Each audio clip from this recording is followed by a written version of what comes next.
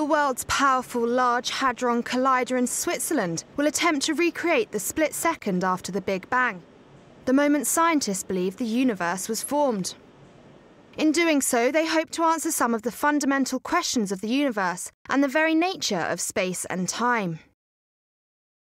The European Organisation for Nuclear Research is gearing up for the second three year run of the Collider, which will take place this March after a two year shutdown. The Collider's first run saw major breakthroughs in physics, including the discovery of the elusive God particle. It helped Higgs and Englert win the 2013 Nobel Prize, nearly 50 years after they proposed the theory.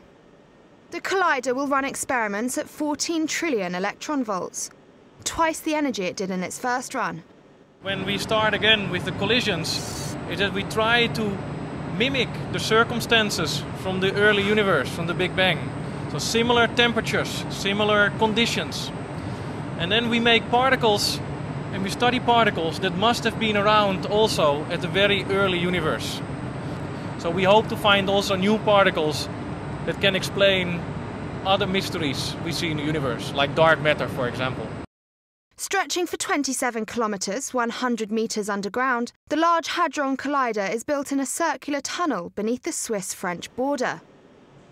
It will fire two beams of particles in opposite directions, close to the speed of light.